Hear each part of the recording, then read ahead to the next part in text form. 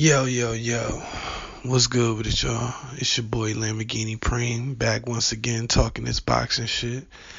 And as always, make sure you check out my all new album, It's My Turn, the Throne Ascension LP. It's a motherfucking classic all the way around. You can find it right now on my official site, hustlegameboss.com.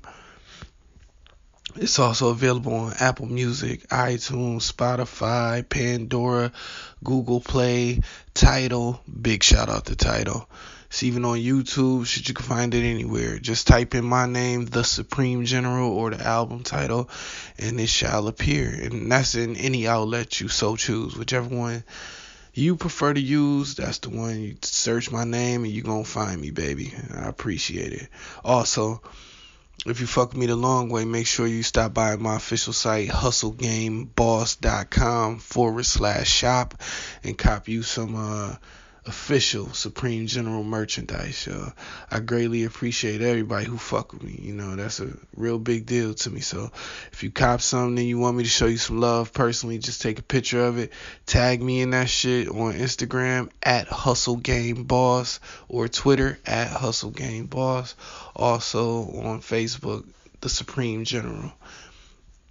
Tag me in the shit. If I see it, I will definitely repost it and show you some love because I appreciate those who appreciate me. You know what I mean? With that said, let's move on to this video.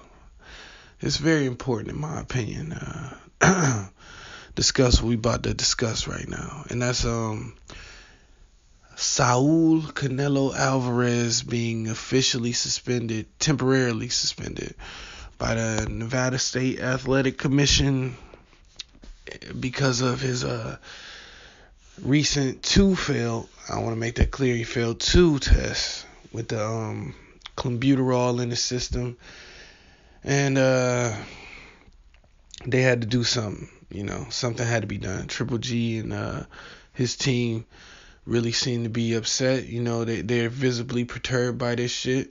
When people ask them questions, you know, they stop giving a fuck about hiding the fact that that they were bothered by, you know, the way not only it seemed that they was bothered by the fact that my man got caught juicing, it seemed they was more bothered by the fact that, you know, it was almost like uh, Canelo was giving carte blanche to go on the juice because basically everybody preemptively said they wasn't gonna do shit about it and that they just believed this story.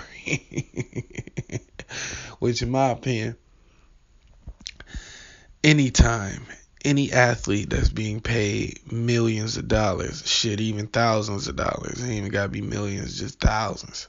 Anytime it's money on the table, and the month, and and they uh they get caught with any kind of steroid or any kind of performance enhancing drug in their system, be it natural or synthetic. I believe that they knew it was there, it was put there, and it was put there to give them an advantage. I mean, this is their job. This is what they do. This is how they eat. So would it shock me if a professional athlete gets caught juicing? No, absolutely not. It does not shock me. Does it uh ruin Canelo's legacy in my opinion? Yes. It 100% does because I already felt like um Canelo record. I don't want to say he had a padded record because that, that's the wrong that's the wrong way for me to put it because that's not even what I mean. But I will say that uh, there's a little fluff in his record. You know, I mean, it's a little fluff in just about anybody record. You can look at anybody records. Always you, you can find some fluff in that motherfucker. But with Canelo's, it was a lot. Uh, him and Lomachenko specifically, they got records where um they've won fights legitimately, and then they've won other fights by uh, I'll just say skullduggery, you know, of some sort that came into play to somehow tilt the scales of justice in their favor. You know what I mean? So in Canelo case, he got a few decisions that um were uh, eyebrow raising to say the least.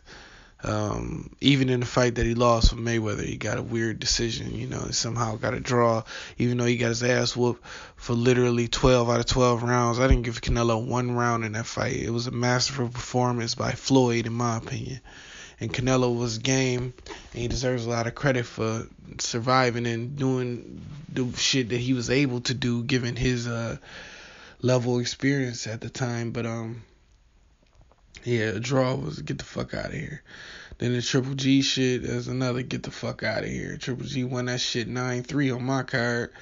Then um you look at the Austin Trout shit, another get the fuck out of here. But that was that was a close one. So you know, I give motherfuckers the benefit of the doubt in there. But uh, Trout Trout had a very good showing in that fight, man. I really think he did well. I think um he deserves some more credit for that fight. Even though he got dropped, everybody all the highlights you see that fight, you see that one him getting dropped early in the fight, but they don't show the rest of that fight, you know, where he recovered from that shit and did pretty well for himself. But um I say the most egregious outside of the Triple G and the Floyd Mayweather, because Mayweather was definitely the most egregious. But um, the most egregious Canelo gift decision was the Lara. Lara easily beat Canelo A4 in my opinion. One guy was landing, the other guy wasn't. Um, just having aggressiveness. Now I respect aggressiveness heavy, especially body shots too. I give credit for body shots where most people tend to overlook that shit, but no. First of all, Canelo's body work was not better than the work that Lara was landing all motherfucking night. So I just I thought that was a rather rather easy fight that Lara won and he was not given the decision. So you know, it is what it is. And then when it comes to Lomachenko, the Nicholas Walters shit was suspect and weird. Same thing with the Rigondeaux shit. I give him full credit for the rigging Rigondeaux. Don't get me wrong. I give him full credit because I said before the fight I would give him full credit. And this Rigo fought that he did what he did. You know, put himself in that position. I don't. I don't. I can't explain that situation. I don't know what the fuck was going on, but I know it wasn't just skills that defeated him or Nicholas Walters. It seems like both of those guys like has some kind of outside influence or something, but I don't want to make no excuses. I actually respect Lomachenko's weirdo situations a lot more than I respect Canelo's because at least in Lomachenko's situation, he was dominating these motherfuckers in the real fight. You know, Canelo shit, Canelo's getting his ass whooped. I, that Triple G fought, fight, Canelo got his ass whooped. I don't give a fuck what nobody say. Ass whooping. Man got three rounds out of that shit, and I was being generous with that. Well, not generous, nah. I give him he he earned three rounds out that bitch, but three out of twelve ain't shit to me. So, and that's definitely a L. So, it is what it is. But the focus of this is the steroid shit, man. Here's the bottom line. Like I said before, if you're a professional athlete, you're making millions of dollars, and you get caught with any type of PED in your system, you knew it was there and it's there for a reason, in my opinion whether it's a masking agent. In, in the case of clenbuterol, there's a few different things it could be used for. It could be used to mask other steroids. It can be used as a steroid itself because uh, the thing, the benefits that clenbuterol provides are exactly the things that Canelo needs: increased stamina, increased wind, you know what I mean, increased power, shit like that. You know, it's it just is what it is. But like I said before in my other video, I believe Canelo been juicing for a long time. So I honestly don't think that the, him being caught is gonna have much of an effect on this fight. Now, do I want to hear like because you know inevitably they're gonna start talking about some oh well he passed every test outside of the ones that he failed leading up to the fight and it's like motherfucker that don't mean nothing to me means absolutely nothing to me. All that means is that he either A, developed a better doping regimen to get around the motherfucking test, or B, he's already reaped the benefits of doping for however long he was doping before he got caught. You know what I'm saying? And now he's clean. Because from what I understand, man, I'm not a steroid expert. I don't know a lot about the shit, you know, and I don't really care to learn too much about the shit. I'm not really interested in steroids and shit like that, but what I will say is this, man. From what I understand, them shit's going cycles. You know what I mean? Cycles where you you know you juiced up, And you're gonna piss hot, and then cycles where you still maintain the benefits from the juice that you used maybe six to eight months or however long it was ago before training camp started. And now that training camp starts, you won't pop positive because you're still using all the benefits that you gained from however long ago before training camp started and the testing started. So him passing subsequent tests means nothing to me. You know what I'm saying? Because I just that shit just don't mean nothing to me. You know. And now if this was football, well, football is kind of dangerous too, but it's not boxing. You know, I mean, you're not literally physically trying to inflict damage upon this guy's head. Like in boxing, you're punching another guy in the head to not literally to knock them out. In football, you're trying to get a ball across the line by any means necessary. So most all of the sports, even football, I give motherfuckers a pass with that steroid shit. I don't even trip. You know what I'm saying? You know, basketball is another one that's kind of iffy, you know, but still, if you get caught juicing in the basketball, what are you really doing? You're trying to put a ball in the hole. And the way basketball is played nowadays, man, it's just so goddamn soft. I don't really give a shit about the Roy. Same thing with all basically any other sport other than boxing. Boxing is the only sport I feel like you should not be able to juice.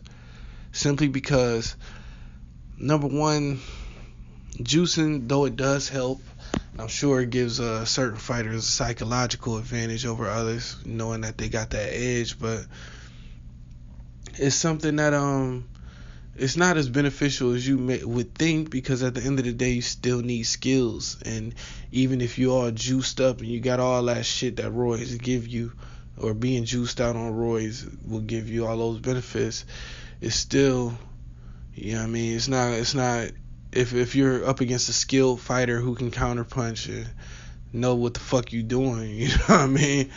It's it can be a long day for you regardless, you know? And that's the beauty of the sweet science, you know what I'm saying?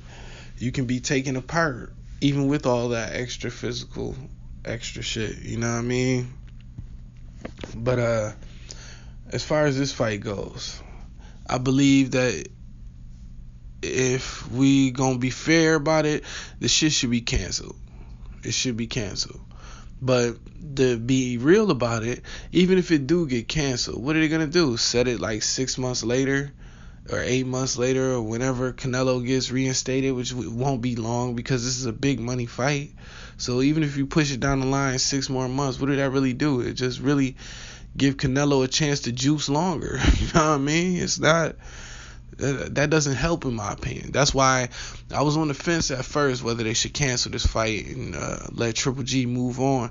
You know, rule it as a no contest or give uh, Triple G a W for this fuck shit. But I don't know, man. I don't know. It, it just seemed like you're kicking the can down the road, and what difference is it gonna make if you're just gonna let the, the fight happen six months later? What difference did it, did it make at the end of the day? You might as well have it on in May. You know, when both guys, you know, Triple G's not as old and Canelo hasn't had an additional six months to be able to juice, you know. So I think the fight should go on if Triple G and his team agree to it. That's the only way. You know, I mean, if they don't agree, I don't feel like it should go on because I, believe from watching these subsequent interviews with Triple G after he found out, man, I feel like Triple G, he he feels some type of way about this shit. You know what I mean? He really do. He really tight about it. Like, and I, I mean, how can you blame him? His opponent has been given a fucking free pass to go ahead and do whatever he want to do, take whatever kind of anabolic steroid or whatever kind of steroid he want. You know, he's been given a pass to basically do that and get away with it. You know, and and that's got to be disturbing when you're going into a boxing match against this guy you know. Even if you already if you feel like how triple g and his team they feel like he's been juicing the whole time and given the results of the last fight the juice didn't really help canelo too much man because my man triple g ate his motherfucking punches like skittles and kept going. That shit wasn't nothing man. So i don't know man. Middle middleweight might be it, it might be the water might be too deep there for a guy like Canelo because even if Canelo somehow beat Triple G, which I just don't see happening, even if he somehow beats a Triple G, can he beat Charlo? No. I don't even know if he could beat Billy Joe Saunders. And I damn sure know he can't beat Danny Jacobs. So, I mean, this is this is a a rough ride up ahead for uh, Canelo you know. But you know, go Golden Boy gonna pull something out the ass, get him a couple cupcake fights before he had to go on the fire and fight somebody real again if he beat Triple G. But like I said, I don't expect him to win this fight. I think that they thought that they caught Triple G on the downturn of his career, but they didn't. They caught Triple G at that point where you know he's still too good to beat Canelo. And I believe that's going to happen again on May 5th or Cinco de Mayo this year, you know. I'm looking forward to it. But I will say this if it's all bad for Canelo, you know, and it's really this doesn't hurt Triple G at all. If Triple G lose the fight, get knocked out, stretched, I mean all the way stretched. If that happens, nobody's gonna give Canelo full credit for that shit. Nobody. I know I'm not. You know what I mean? You don't get caught juicing and stretch your opponent and get full credit from me. No. No. No, not at all. You know, if Canelo wins a decision that he actually deserves, which I doubt it will happen, but if he does, it will still be marred by controversy surrounding the um, you know. So this is a lose lose for Canelo, in my opinion, and he has to win this fight because if he loses it, after getting caught juicing and get knocked out like I expect him to get knocked out, it's gonna be hard for him to recover, man. He's gonna have to. It's gonna be hard to recover, and he's gonna have to fight Triple G again. So, you know, I mean, I don't know, man. I I don't I don't necessarily I don't want this precedent to be set that you can violate with the juice, have a bullshit excuse, or at least an excuse that's somewhat viable, use that excuse and still get praise. I don't, I don't want to set that precedent, but at the same time, I don't think this fight should be stopped either. You know, um, accepting, like I said, if Triple G, like, yo, if he don't want this shit to go down, he feels some type of way about it, and he want to move on, I'm 100% cool with that. But outside of that being the case, man, fuck it, let it go down. You know what I mean? That's my opinion on it. So, that being said, I'm out this motherfucker. I'm on to the next one. Holla at me. 100.